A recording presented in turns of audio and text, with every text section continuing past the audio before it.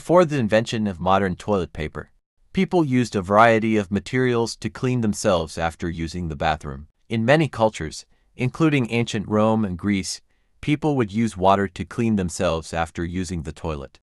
In areas with abundant foliage, people would use leaves, grass, or other plant materials to wipe themselves. In early America, corn cobs were commonly used to clean oneself after using the toilet. In many cultures, people would use cloth or rags to wipe themselves after using the bathroom. These would often be washed and reused.